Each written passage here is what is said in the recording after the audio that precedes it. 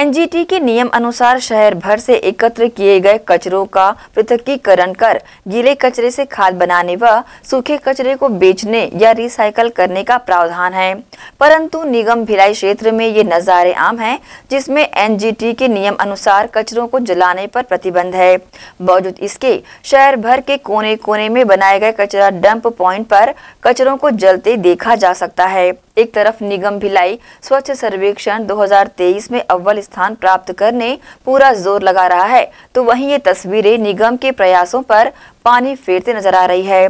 यदि स्वच्छ सर्वेक्षण 2023 की सर्वे टीम को ये नज़ारे दिख जाए तो क्या निगम भिलाई अव्वल स्थान प्राप्त कर पाएगा?